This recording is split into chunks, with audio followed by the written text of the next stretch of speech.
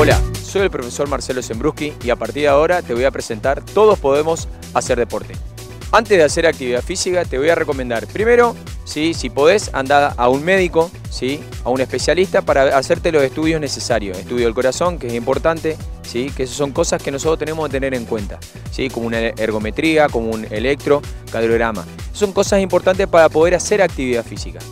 Después de que tengamos todos los estudios necesarios, que un médico no, a nosotros nos no diga las cosas que tenemos que hacer, vamos con un profesional.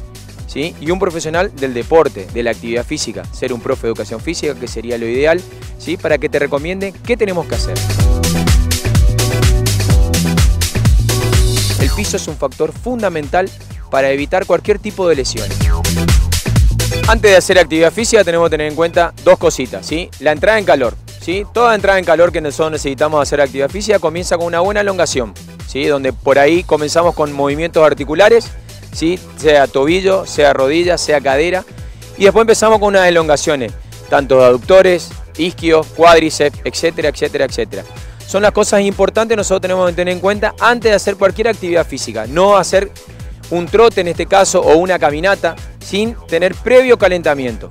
Una vez que hacemos la actividad física, posterior a la actividad física, depende de la intensidad que nosotros le damos, también la elongación sirve para aflojar los grupos musculares donde estuvimos trabajando. Una de las opciones para hacer actividad física es el trote en la costanera, ¿sí?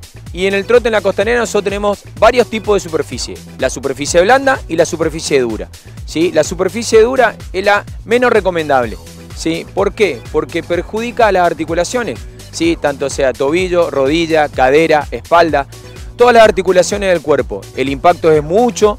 Una de las cosas que nosotros tenemos que tener en cuenta es la superficie dura. Tratar de evitar ¿sí? superficies duras, tanto la vereda, tanto la calle. ¿sí? Esas son las cosas que nosotros nos perjudica a largo plazo.